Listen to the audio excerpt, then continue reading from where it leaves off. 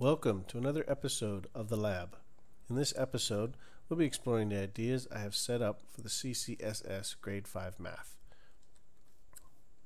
So to start, if anybody has any ideas for this area, please feel free to leave a comment. Uh, numerical expressions using parentheses. Hmm. Yeah. Moving on. I'm not going to read all of the info blocks to you, but feel free to pause the video and read it. We'll wait. Or maybe we won't. Okay. Here's Rick. There's the coal. Good. This is uh, just one idea I've had of utilizing the current coordinate pairs. Um, later on, I'll show you another way that I think uh, is actually more engaging with the students.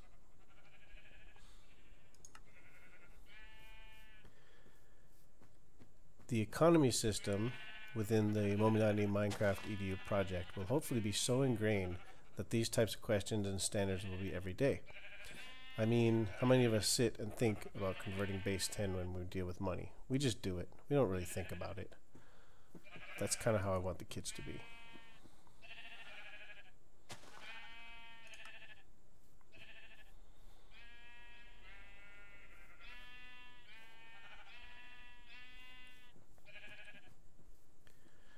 This area is just something I kind of wrapped uh, patterns of numbers ending in zero. And I'm thinking I might even include uh, a small mini game in the map for the students so they can actually shoot at targets.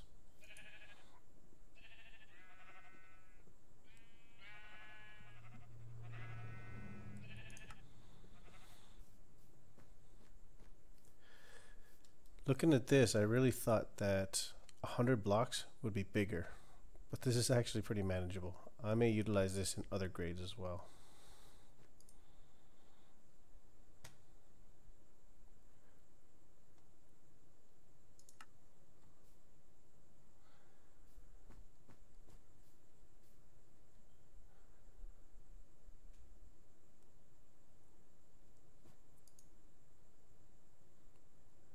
Most likely I will include all of these store-based questions or types of questions within one or two stores somewhere in the town.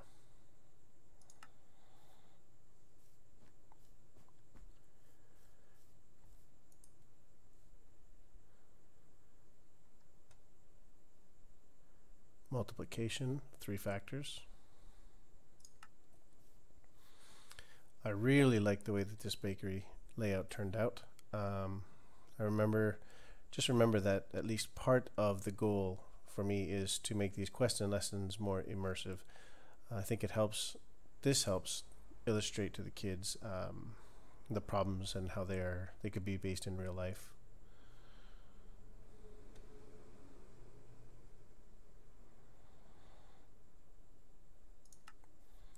Got cookies here on the wall, some eggs, some milk, some flour, cocoa beans, apples, melons, more cookies. Shifts later, walking around.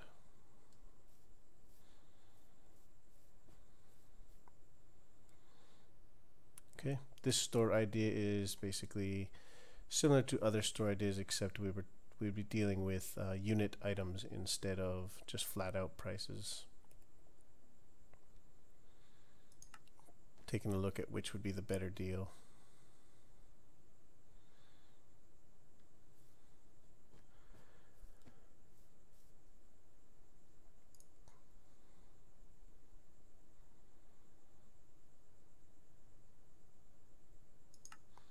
Okay. Again, very nice. The Bibliocraft Bibliocraft bookshelves are nice. Or sorry, these aren't bookshelves. These are just regular shelves, but they're really nice for displaying objects like this. Um, I could easily see fractions being displayed like this as too as well.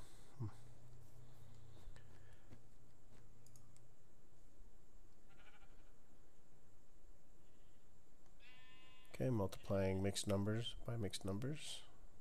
Or sorry, this is comparing mixed numbers difference addition. I want to thank Matt for this idea. As you can see, there's a pen of 12 white sheep in here. The concept behind this is, of course, to die, use the dye to dye the sheep and make it match these fractions. Um, I think that'd be pretty interesting for the students.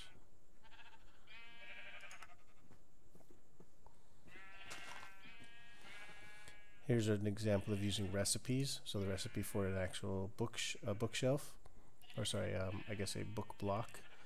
Um, using that and fractions.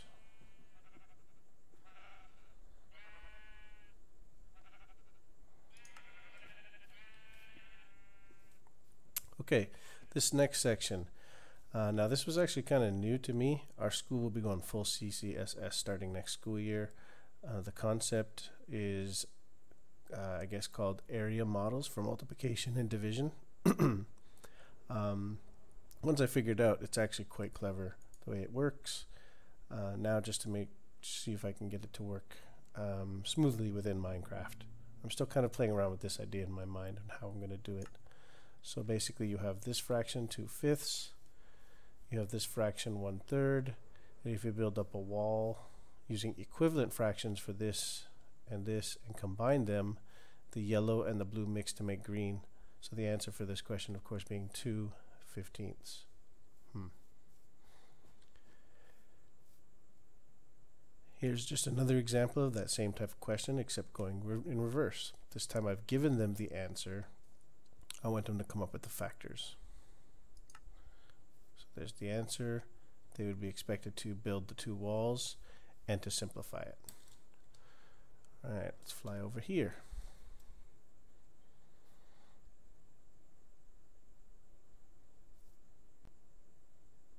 Okay, so here we have another um, fractions, mixed numbers.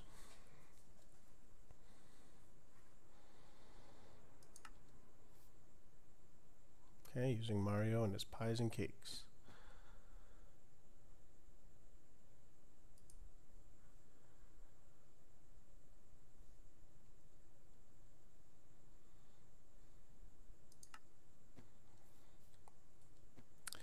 Here is um, another area that I'm not quite sure how to deal with. So converting standard measurements. Uh, if anybody has any ideas, please feel free to let me know.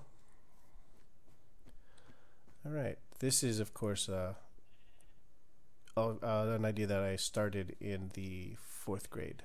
If I'm not mistaken, the fourth grade area. I really like this concept of doing line plot um, I guess the idea would be then, of course, to figure out interesting ways that the students can gather information and what we can actually graph on this. Okay, these next three are very similar. So I tried to ramp each one of them up. Here we have the basics of volume. Okay. So one cubic block, of course, this being two cubic blocks. Another way of demonstrating two cubic blocks. And you get the idea. Something that's slightly irregular. Then we come over here and this next one is basically just a bigger object with multiple layers with depth, height, and width for the students to calculate. And then this final one is an irregular object that can be calculated by breaking it into parts, uh, breaking it into smaller objects, of course. So we would break the diamond in here apart. Wouldn't actually break it, but we could. We'd break it into this part calculate this, calculate this, calculate this. Gold. Um, the point being the explain that volume is additive. Now, remember when I said that I would visit another way to work with coordinate grids. Well, this is it. Um, I was looking at down at my Zan's mini map. If you take a look, bottom right corner, you'll see my Zan's. You'll see that these lab areas I've broken up into grids. Each grid, of course, each square in that grid being a different standard. Um, then I thought to myself, hmm, why don't I just use that? So that's exactly what I'm going to do. I'm going to use the Zans, I'm going to use the grid And this first one, I think I'm thinking of creating an ice biome age. If you have couldn't tell, snow and this little guy here, Ice Explorer.